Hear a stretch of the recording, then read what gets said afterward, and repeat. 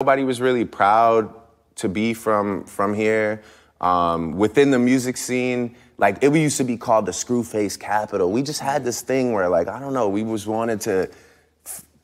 I think I think everyone was just waiting and being like, "Yo, will it will it ever happen?" You know, um, and and so you get a bunch of people kind of just competing at the same level for the same shows and the same radio spots and stuff, and it breeds a lot of headbutting.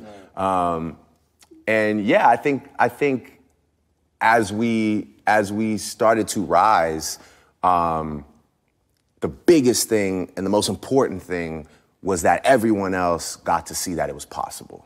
Because at the time, the pitch was far fetched. Like, okay, so you're telling me this